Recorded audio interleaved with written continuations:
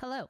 Today we are looking at the FX 9750G3 graphing calculator, and we're going to explore just very quickly an overview basically of the run matrix menu. Casio is a menu driven graphing calculator as it is with all of its graphing calculators and so you'll see that there's lots of different menu items.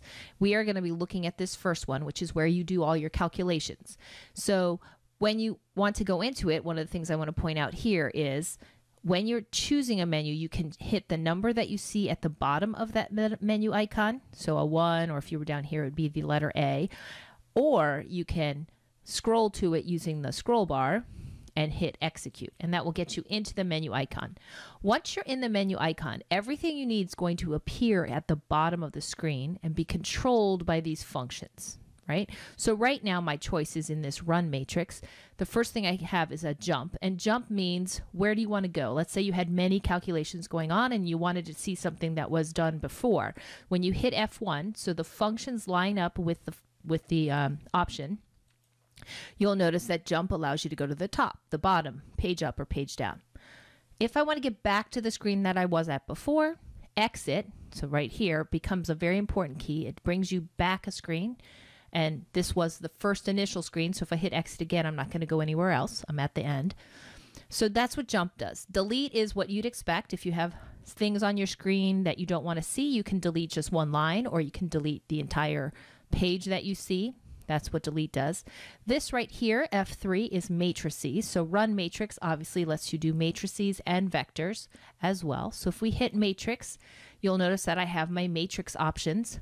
Notice down here again, once you click a option, you then get more options within it right? So we are in matrices. Here are the things I can do with matrices.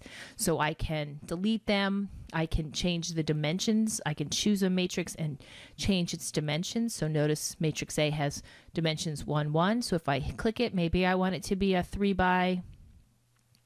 And every time you enter, you hit execute.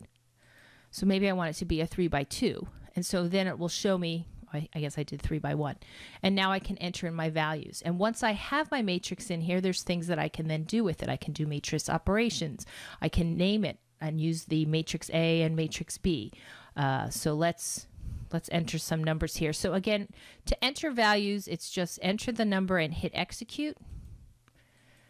And let's make a negative in here. So now I have my matrix A, so I'm good. I'm going to hit exit. Matrix A is done. I wanted to point out that here I can do matrices, but I can also do vectors. So notice that over the F6 function, there's this matrix to vector. So if I click that, I now have vectors instead of matrices. So let's go back and hit exit. Let's get out of matrices. And I have matrix A already selected, correct? So I want, let's say I want to do a scalar multiplication. Let's do 2 times that matrix. And if I want to hit that matrix and get that word in there, notice down here over the 2, there's the word matrix. So I need that word matrix. So shift F2. And we want to have alphabet A in there. So there's matrix A. And let's see what happens.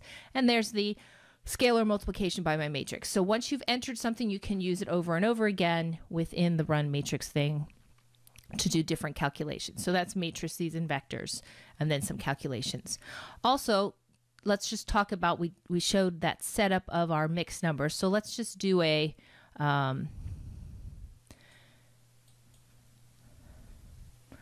I'm hoping this works. I'm just going to do a multiplication with uh, let's do seven.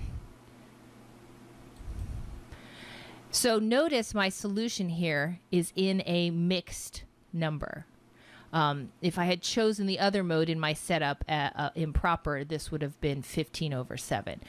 No matter what form you've decided to go with, you can always toggle between the standard form and the decimal if, if that's what you choose. So the last thing we haven't looked at this math. So what is math? So math is just lots of different things you can math. Think of them as sort of templates. So this is a matrix, this is logarithms, and so they're templates. So if I put in a log, I now can enter and do the log of different values. Um, if I hit execute, it's going to give me an error. So I don't want to do that. Let's delete just that line. So here's where delete comes into play.